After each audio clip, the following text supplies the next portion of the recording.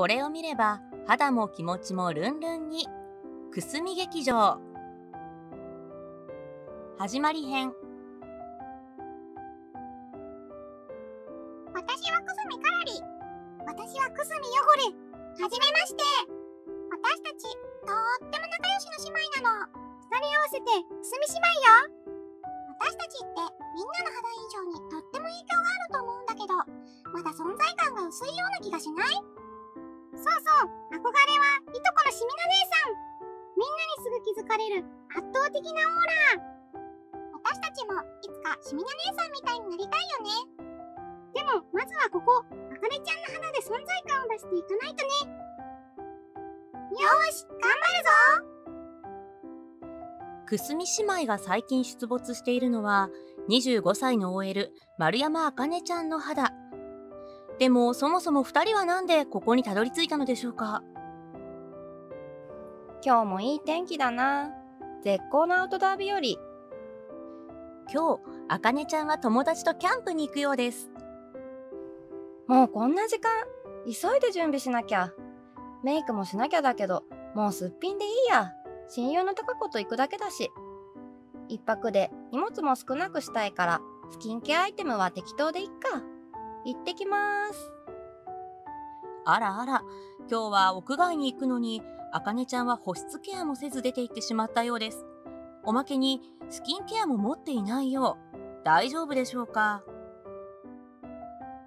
やっぱりキャンプって楽しい。こんな気持ちがいい天気の中外で飲めるって最高。日頃のストレスを今日は発散するんだ。そうだね。乾杯その夜。あれ？あかね寝る前にメイク落とさなくていいの？あー今日はすっぴんできたからメイク落とす必要ないんだよね。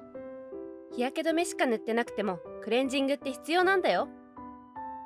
いや日焼け止めも塗ってない。朝時間なくてさ。え？今日あんなに長時間屋外にいたのに大丈夫？せめて保湿ケアだけたっぷりしておいたら？大丈夫でしょたったの一日だもん。もう眠さが限界で。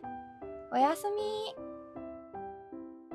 一日だけだからと保湿もしないであかねちゃんは寝落ちしてしまったようです。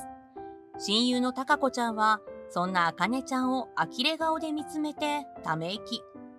ここで視聴者の皆さん一緒にたかこちゃんの心の中を覗いてみましょう。はあもうあかねったら私は日焼け止めも塗っていたからクレンジングでしっかりと洗い流すわよ。落とすことが基本なんだから。それに日焼けをした後のお肌には保湿が必要。さ保湿保湿。その頃あかねちゃんの肌ではここ住み心地超良くない？いい感じに乾燥してる。うんめっちゃいい。しかもあかねちゃんって普段もクレンジング適当だからさいい感じに汚れも溜まってるんだよね。次の日。おはよう。今日もいい天気。おはよう。気持ちよさそうだからちょっと散歩してくるね。ああかね保湿と日焼け止めは？あの子ったらまた何も塗らないで。後で大変なことになっても知らないから。その頃あかねちゃんの肌では激アツ物件見つけちゃった。もうここから離れたくない。やっほー久しぶり。しみら姉さん。元気？なんか居心地よさそうな物件見つけたじゃん。私も遊びに来ちゃったよ。ぜひ私たちだけだと存在感が薄いから。しみな姉さんが来てくれたら目立つこと間違いなし。マジで？ほんと二人とも大好き。また近々来るかもやっぱりカリスマ性あるねしみな姉さん。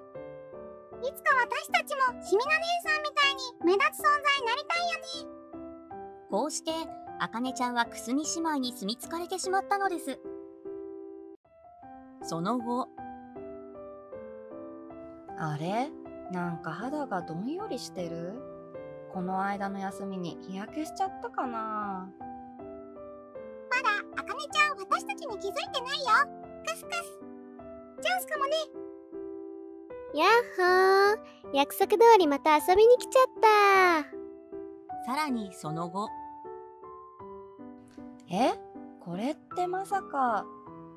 でも私、まだシミができる年齢じゃないよね。くすみかな。その頃、あかねちゃんの肌では、さすがシミナ姉さん。やっぱり存在感が私たちとは段違い。ふふ私たち一生姉さんとあかねちゃんについていきます。大丈夫。二人も徐々に存在感を放ってくから。これからが楽しみね。カラリ、汚れ、おまけにシミな姉さんも？肌トラブルの原因になりそうな3人は、あかねちゃんを気に入ったよう。あかねちゃんの肌は、これからどうなるのでしょうか？